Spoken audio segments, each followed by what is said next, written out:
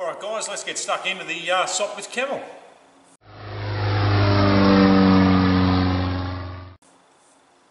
Okay, so Sopwith Camel, where we leave off. I built these frames. Um, a couple of frames here, you're going to have a go at covering those. Now the first issue I had was I put an order in on the 14th of June. Um, I've just got off the phone from a gentleman actually, which makes me a bit, you know. Um, so 14th of June, it's now about the 20th of July, so it's five or six weeks. Uh, got my order, express post from Queensland, five or six weeks. So, don't want to be too negative on this channel, but you know, these are just the experiences of building an aircraft, going through the processes. Ordered my fabric, got the fabric, and I ordered some um, Stewart System Ekobond, which is the glue. Put a picture of that up if I can find one, what I thought I was getting. And anyway, this is what rocks up, just a Mount Franklin water bottle with some blue liquid in it. So that's fine, but I don't actually know what's in here, i.e. no shelf life, um, has it been diluted, you know, mix ratios, that sort of thing. I know it's online, the mix ratios, but I don't know the shelf life of this. I don't know the history of this. Is it just out of someone's bloody drum they've had under the bench? So anyway, I rang up this company up in Queensland, Australia, and the guy pretty much abused me. So, you know, I'll use this on the test pieces, but yeah, I don't, I don't think that's really acceptable. One, it's in a drink bottle. What's the first thing you learn? Don't put it in a drink bottle. Um, and I just try to explain to him that if it was a certified aircraft, how can you, like it's still sealed with sticky tape, you know, for postage, but that's been tampered with obviously, and it's a water bottle. So, enough said. Let's move on. All right, take a deep breath. We'll move on. Um, getting abused on the phone just because you, uh, you know, question the integrity of a product that you're going to fit to an aircraft.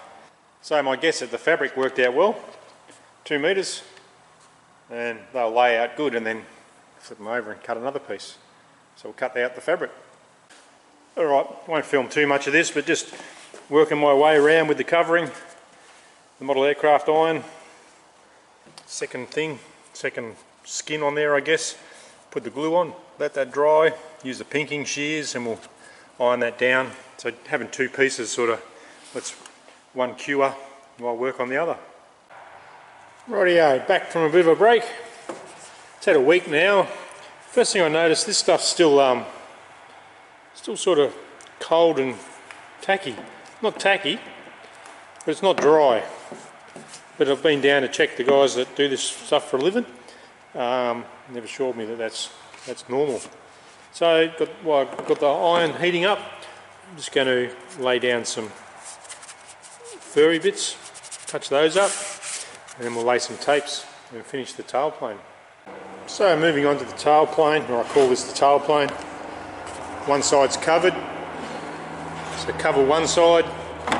Done the initial pre-tension. There's plenty of videos on the Stewart system covering, so I don't want to go into too, too much of a detail, but so cover one side, then do an initial shrink on this side, so got rid of all the wrinkles, um, just around the perimeter that's glued.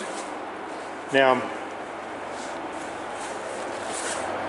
part of the reason of doing this is just to test everything as the helicopters take off outside. Got my pencil, I just marked roughly a one inch edge in there. Now we'll lay some bonding agent, glue, adhesive, and lay the covering on from the other side and fold it up. Kind of nice doing this, just take your time and do it nice and neat. It's easy to um, just think, oh, it's only a test piece, but I want this to replicate exactly what I'm going to do on the aircraft. Just laying that edge over in the sort of tacked off glue. I'll mark the covering. Now we'll pop it back up again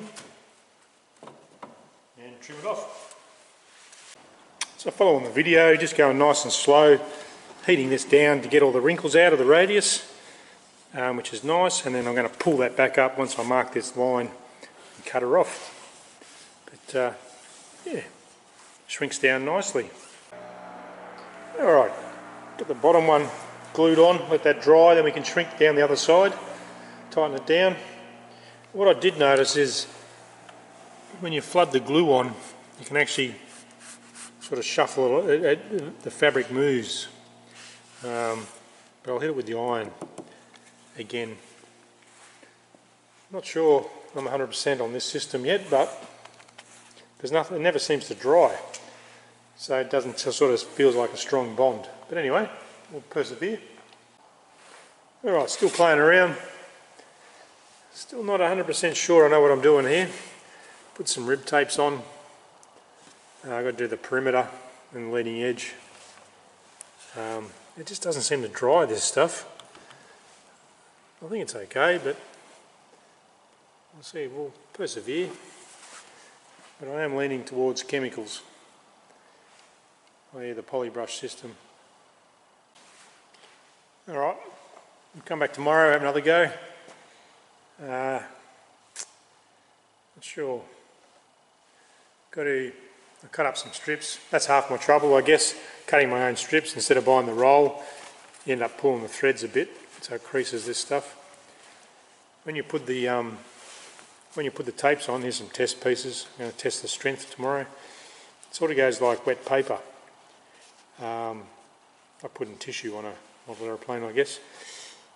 So you got to be careful. You can sort of create a wave and then push the wave off the end. Come back tomorrow, see how it goes. Right, just working through with my scrap pieces. I must admit I'm not in love with the Stewart system stuff, but anyway, we'll keep going. Um, just working with what I've got. I haven't got a whole roll of tape, so I've just cut some up. I'll just do the radius. Normally that'd go you know, the whole length. I've just done the centre bit. Um, I just want to practice the radius really, so I'll iron this down and glue it down. So here we go. So just with the iron, working slowly, get that radius to lay down nice and flat without any wrinkles.